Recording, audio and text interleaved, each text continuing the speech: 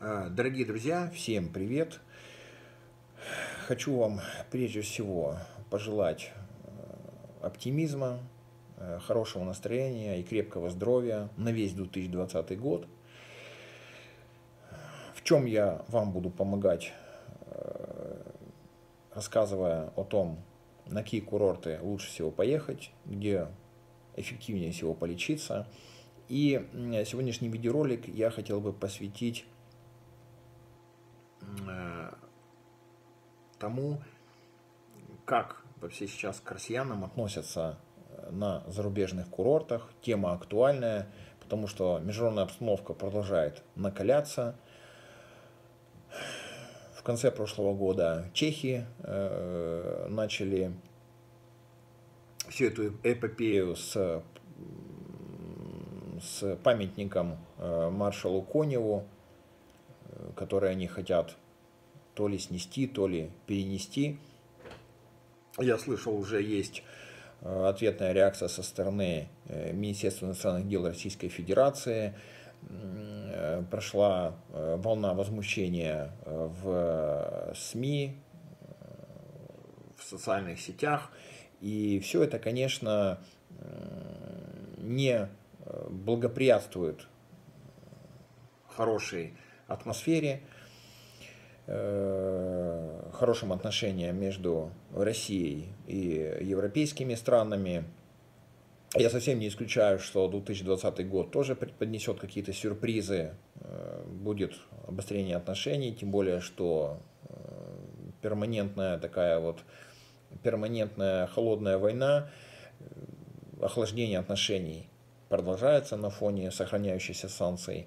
Итак, э, что сейчас происходит на курортах? Я сделал такой блиц-опрос своих клиентов. Э, мы с моими коллегами обзвонили, обзвонили некоторые отели, э, узнали, нет ли никаких конфликтных ситуаций, вообще как относятся к российским туристам в Европе. Э, начну с Чехии, э, потому что чешский курорт одни из самых популярных среди россиян, и туристический поток из России очень хорошо наполняет чешский бюджет, не будем этого скрывать. Э, конечно, львиную долю этого потока все-таки это туристы из России уже много-много лет, которые идут не только лечиться на чешских курортах, но также с экскурсионными целями. И эм, Конечно, я вам скажу, что к моей радости э, резкие высказывания э, чешских политиков э, о России пока что не находят свое отражение на той атмосфере гостеприимства, которая создавалась годами. И я все время своим клиентам говорю, что если вы не будете хамить персоналу, то все будет хорошо.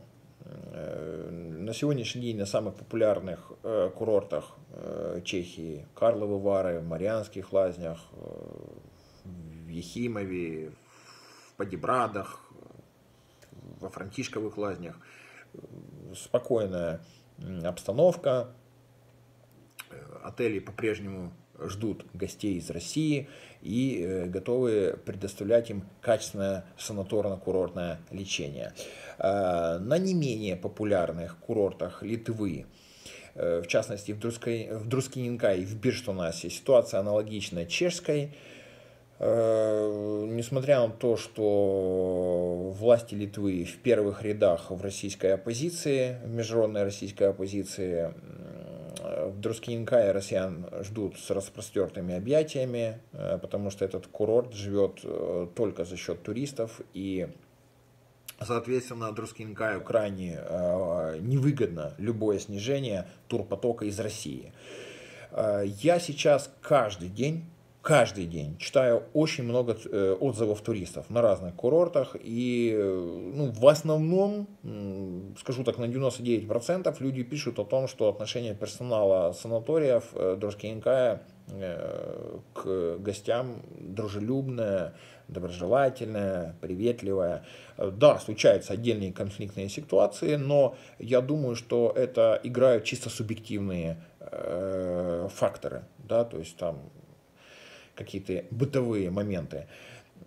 Поэтому в целом отношение такое нейтрально дружелюбная, ну, больше дружелюбная. На венгерских курортах, э, на популярных венгерских курортах, в том же Хивизе, э, ситуация еще проще.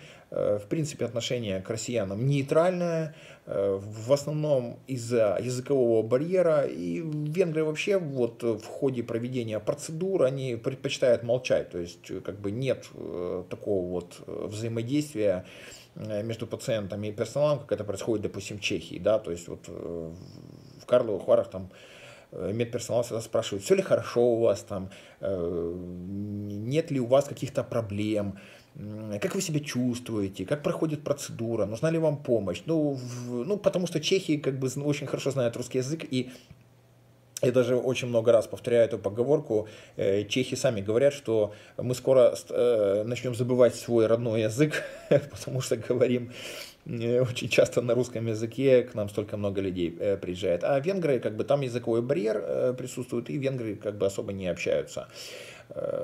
Только когда, если вы как бы подходите, что-то спрашиваете, да. А, поэтому там взаимодействие вот россиян с персоналом непосредственно минимальное. Сотрудники отелей делают свою работу четко, ни больше, ни меньше. А, хороший уровень гостеприимства э, по-прежнему демонстрируют курорты Словении, Словакии, Италии, Франция. Э, ну, Франция особо, потому что там в основном элитные курорты, такие как Виши. И, конечно, когда вы приезжаете и платите 150 евро только за проживание завтраком, а еще там евро 300-500 за лечение за три дня, то, соответственно, какое к вам может быть отношение? Только исключительно благожелательное. Э, и я вам даже больше скажу, э, знаю очень много ательеров, которые постоянно проводят обучающие тренинги с персоналом и контролируют, как вообще сотрудники отеля обслуживают их гостей. Так что на сегодняшний день атмосфера на самых популярных лечебных курортах Европы, где я был и с которыми я продолжаю работать, благоприятная. Россияне приезжают, отдыхают бок о бок с украинцами и наоборот, никаких конфликтов нет. Будем надеяться, что все так и будет продолжаться. Давайте жить дружно, хорошего вам здоровья, хорошего настроения. Приезжайте на курорты, не забывайте звонить мне, консультироваться, куда лучше поехать.